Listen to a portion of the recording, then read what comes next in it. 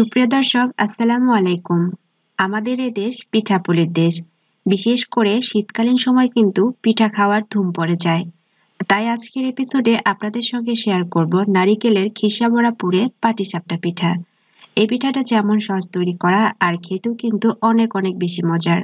নারিকেলের খিসায় এই পাটিসাপটা পিঠাটা যে কতটা মজার, সেটা যদি আপনারা একবার ঘরে তৈরি করেন, তাহলে বুঝতে পেরে যাবেন। আশা করছি আজকের রেসিপিটা সবার কাছে ভালো লাগবে। অনুরোধ থাকবে চ্যানেলটিকে সাবস্ক্রাইব করে লাইক কমেন্ট করতে ভুলবেন না। পিঠা তৈরি করার জন্য আমি এখানে নিয়েছি দুই কাপ পরিমাণ চালের গুঁড়া। এখন এর মধ্যে দিয়ে দিচ্ছি হাফ কাপ পরিমাণ ময়দা। এতে করে পিঠাটা অনেকক্ষণ পর্যন্ত সফট থাকবে। আর দিয়ে দিচ্ছি ওয়ান ফোর্থ কাপ পরিমাণ গুঁড়া দুধ। হাফ কাপ পরিমাণ দিয়ে দিচ্ছি চিনি।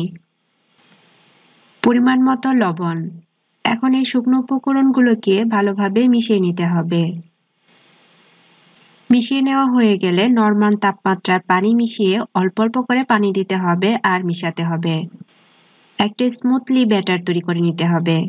অল্প অল্প করে পানি দেব আর সুন্দর একটা স্মুথলি ব্যাটার তৈরি করে নেব। পানির পরিমাণটা একবারে বেশি করে দিতে যাবেন না সেই ক্ষেত্রে পাতলা হয়ে যেতে পারে। ভালোভাবে মিশিয়ে নিয়েছি আর এরকম একটি স্মুথলি ব্যাটার তৈরি করে নিয়েছি। আমি আপনাদেরকে দেখিয়ে দিচ্ছি এটা কতটা আর কি পাতলা বা ঘন হবে। এটা কিন্তু একদম ঘন হবে না, আবার একদম পাতলাও হবে না। মাঝারি সাইজের একটা স্মুথলি ব্যাটার তৈরি করে নিতে হবে। এখন ভিতরে পুরটা রেডি করব, সে পর্যন্ত এটাকে রেস্টে রেখে দেবো একটা সাইডে পুর তৈরি করার জন্য আমি এখানে নিয়েছি তিন কাপ পরিমাণ লিকুইড দুধ। দুধটা আগে থেকে জাল করা ছিল। এখন আরও কিছুক্ষণ জাল করে ঘন করে নিতে হবে। কিছুক্ষণ জাল করে ঘন করে নেওয়ার পরে এখানে আমি দিয়ে দিচ্ছি হাফ কাপ পরিমাণ খেজুরের গুড়। আপনারা চাইলে কিন্তু চিনি দিয়েও তৈরি করতে পারেন, আর খেজুরের গুড় দিয়ে তৈরি করলে কিন্তু খেতেও বেশ ভালো লাগে। আর দিয়ে দিচ্ছি দুই টেবিল চামচ পরিমাণ সুজি। আমি এখানে সুজি দিয়েছি, আপনারা চাইলে কিন্তু চালের গুঁড়াও দিতে পারেন। আর দিয়ে দিচ্ছি হাফ কাপ পরিমাণ কুড়ানো নারিকেল। তবে আপনারা যদি চালের গুঁড়া দেন, তবে সেক্ষেত্রে পানির মধ্যে মিশিয়ে তারপরে দিতে হবে। তা না হলে সঙ্গে সঙ্গে দিলে কিন্তু সেটা দলা পেকে যাবে। এখন নেড়ে ছেড়ে এটাকে ঘন করে নেব। যতক্ষণ না পর্যন্ত ঘন হয়ে আসছে, ততক্ষণ পর্যন্ত কিন্তু এটাকে জাল করতে হবে। এই তো দেখতে পাচ্ছেন অনেকটাই ঘন হয়ে এসেছে। এটা ঠান্ডা হয়ে যাওয়ার পর কিন্তু আরও অনেকটাই ঘন হয়ে যাবে।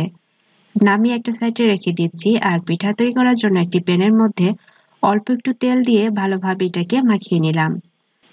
এখন পিঠার ব্যাটারটা এর মধ্যে দিয়ে দিচ্ছি। দিয়ে দেওয়ার পরে চার পাঁচটা এভাবে ছড়িয়ে দিতে হবে। এভাবে একটু কাত করলেই দেখবেন এটা ছড়ে যাচ্ছে। যখন দেখবেন এরকম ভাবে উঠে আসতেছে, তখন মনে করবেন পিঠাটা হয়ে গেছে। এর মধ্যে সেই পুরটা দিয়ে দিচ্ছি। চারপাশে এভাবে পুরটা দিয়ে দিতে হবে। এখন এটাকে এভাবে ভাজ করে নিতে হবে।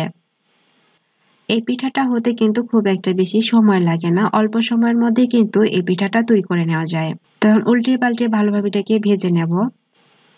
এই তো হয়ে গেছে। এখন এটাকে তুলে নিচ্ছি। বাকি সবগুলো পিঠা একইভাবে তৈরি করে নেব। তো সবগুলো পিঠা আমার তৈরি করা হয়ে গেছে। আর দেখতে পাচ্ছেন কতটা লোভনীয় দেখাচ্ছে। আর নারিকেলের খিসায় এই পাটিসাপটা পিঠাটা খেতে যে কতটা মজা সেটা আমি আপনাদেরকে বলে বোঝাতে পারব না। আপনারা অন্তত একবার হলেও ঘরে তৈরি করবেন। আশা করছি সবার কাছে ভালো লাগবে। পরিবারের সবাই এটা খুবই পছন্দ করবে। একদম অল্প সময়ের মধ্যে তৈরি করা যায়। রেসিপিটা ভালো লেগে থাকলে চ্যানেলটিকে সাবস্ক্রাইব করে একটা লাইক দিতে ভুলবেন না। আজকের মতো বিদায় নিয়ে নিচ্ছি। সবাই ভালো থাকবেন। আল্লাহ হাফেজ। আসসালামু আলাইকুম।